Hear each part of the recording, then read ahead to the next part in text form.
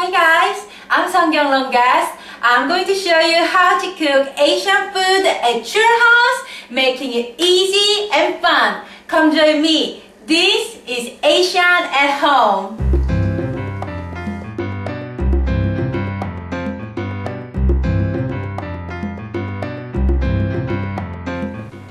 Today, I'm going to show you how to make fresh Vietnamese rolls. Um, if you go to a restaurant, you can find the menu says summer rolls. That means it's not deep fried, the spring rolls.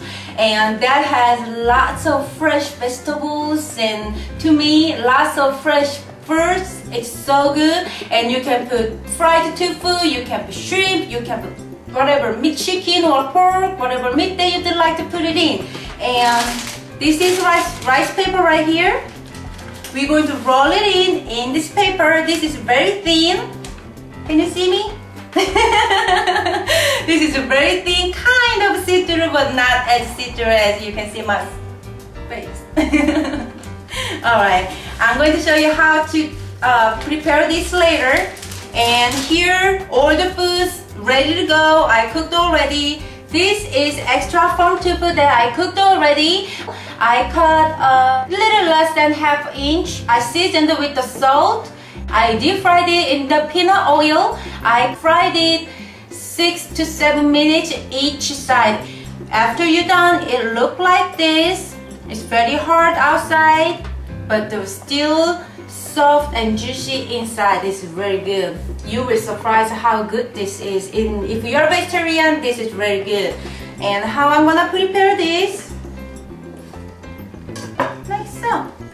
One long strip. So it's perfect size to put on this rice paper. Alright. And the one more thing that my Vietnamese rolls is self-service. You got to roll by yourself if you'd like to eat it. I'm not gonna roll for you. so if you are invited to my house to eat Vietnamese rolls, that means you're going to work on it. and I cooked the shrimp already, little bit of boiled water, just cooking one and a half seconds, two minutes, and put in the ice water. So they're going to stop cooking and they're going to like nice tangle tingle, how do you say tingle tingle, like nice texture. It's not gooey or anything. It's just so good. Okay I'm going to put shrimp right next to food I'm preparing this dish for two people. I cooked the egg already here. Kinda you cook like an omelette. I cooked the three eggs beaten in salt and pepper and little bit of water, kind of tablespoon or so, and beat very well and cook on medium heat. And I'm cutting long strips. This is I showed you before at the kimbap video too, right? And I'm going to put all together because this is kind of little long. Great. I know you might think this is a little strange to put the egg in the spring roll, but you know what? This is so good. You just follow me. This is not traditional Vietnamese rolls, but this is my Seonkyoung longest Vietnamese rolls and you try it one time and this will be the best spring roll, no, best summer roll that you ever had. I promise that to you. This is so good. And now I'm going to prepare some sauce because I want the sauce kind of sit it down and get ready, get together before we eat. The Vietnamese raw sauce, spicy and sweet and salty sauce. And this is the palm sugar from the palm tree. Just break down a little bit. I'm going to use um, around one tablespoon why I'm using this? Because I have to mash it up. And here, I'm going to put some pineapple juice. And I'm going to put this pineapple in the summer also. So good. Pineapple gives very nice, sweet, and kind of tropical feeling. So good. And I'm going to put some lemon juice. Half of lemon juice for a little tangy sour. You can use a lime juice too, but I think pineapple goes lemon better. I'm going to ground a little bit. And if you cannot find the palm sugar, just use a regular sugar, it's totally fine. You don't have to use lots of sugar because pineapple juice is already sweet. Alright, what I'm gonna put it in is season up and spice up. Hi chilies! Oopsie. they tried to escape. I could put it in here too, but I'd like to have they are all the same size. If you'd like to take out the seed, you can take out. I'll show you one how to take out the seeds. Just cut it up, uh, cut up the head a little bit and kind of roll it like this. And see?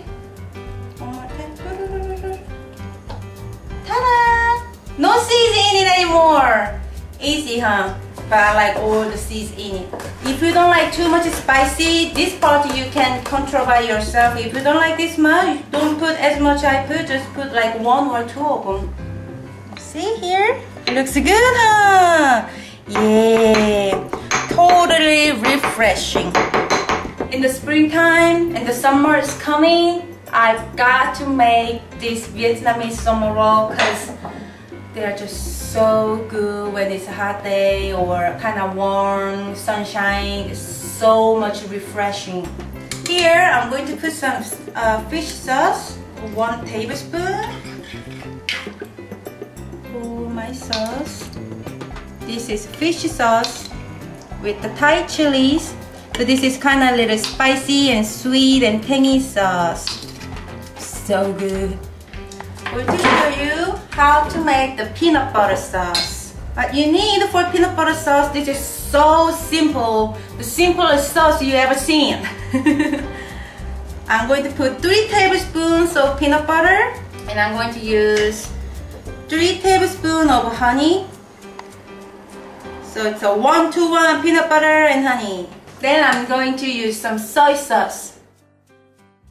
One and a half teaspoon of soy sauce 3 tablespoons of peanut butter and uh, honey.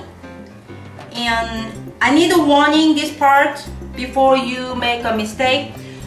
Don't use the natural 100% peanut butter for this sauce then you're not gonna see the same result as I'm seeing right now because that one going to get like hard rock peanut sauce. Mix it very well. I'm going to put this sauce, the same uh, sauce dish. Sauce number two is done. And now I'm going to put some these vegetables on the dish. This is a nice spring mix vegetable. You can use iceberg too. Just slice it very thinly.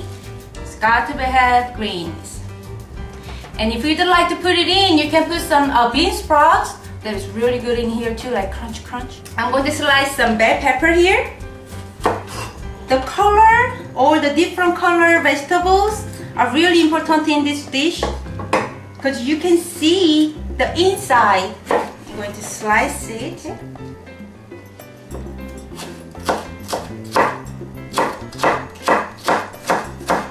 we're going to have nice red orange and here another green and white cucumber. I don't recommend regular regular cucumber because the skin is uh, so big and too much seeds. Try to find some English cucumber or pickling cucumber. Really perfect. Cut in half and slice. This is a little funky part. Banana. I know it sounds very weird. I'm pretty sure that not lots of people the banana in the summer roll. The banana is my secret ingredient in my summer roll. It's going to give nice creamy sweetness and the body to the summer roll because as you can see I didn't prepare rice noodles in my summer roll. I like banana better than rice noodles to be honest with you. So if you never tried banana in your summer roll, just trust me, just close your eyes and taste it. You're gonna fall in love. Here little bowl is for the pineapple. Take this right now. I cook the chicken, kind uh, one whole chicken breast. I cut it half, so butterfly, and I put salt, pepper, and the garlic powder, so a little bit of flavor in it. I cook three to four minutes to each side, and I put a little bit of water, and I steamed it to cook all the way through, but not dry out. Alright, and I'm going to cut half of it, little diagonal angle. You can prepare uh, pork if you like to. Chicken is not only one option. Mm -mm. You put whatever protein that you'd like to eat with it. There's really not only such a thing that you have to eat this way or you have to put this. Just try to find your favorite flavor. This right here, this is my best combination that I found. I ate like hundred times. I tried the different stuff. I tried even bulgogi in it. It was so good too. But just try everything. I will come back with the hot water and the rice paper and I will show you how to roll it. I boiled the water already and I put in the little big uh, white around the bowl. What I'm gonna do first is put in the rice paper. Be careful because the water is hot. Put in the rice paper into the water. They got soft. Move to your dish like this. And kind of put a little extra water around so they're not gonna stick too much. First bowl, I'm going to put some greens. I like lots of greens in my summer roll so I can taste beautiful, delicious summer vegetables and oh yeah. This is gonna be so good. This is my Thai chili sauce. I'm going to put some peanut butter sauce too. Kinda see how creamy this is? How to roll this is first bowl, get your rice paper from your side. And kind of it's kind of like gimbap but roll it like this. Put all over to the front. And grab right side and fold it. This is kind of sticky. And grab left side and fold it. Are you following me? And from here you just roll it tightly roll it, roll it, roll it. I'm going to cut it. I'll show you how the looks like the inside part. I think I kind of put some little too much stuff in it. But look at that. Isn't it look gorgeous? Make me dance. It's so good. Mmm. Mmm. This is so well balanced. Nice freshness from the vegetables, big body. The banana gives you instead of the rice and noodles and the chicken, the egg and surprise crunch from the fried tofu. Oh my gosh, this is so good. And spicy tangy or the sauce, these two sauce holding everything together. This is way too good. One bite again. Mmm. So good. Mm. Thank you for watching me today and this is Asian at home. I hope you liked my Vietnamese summer rolls and I will see you next time. Bye bye. Thank you for watching me today and this is, no, wow, wow, what's that? I'm rapping. Fun, fun, fun, fun, Friday, Friday. Thank you for watching me today and this is Asian at, no, what, what am I doing? Thank you for watching me today and this is Asian at home. I hope you you good. Okay. It's Saturday. Party, party, yeah. It's Saturday, not Friday, by the way.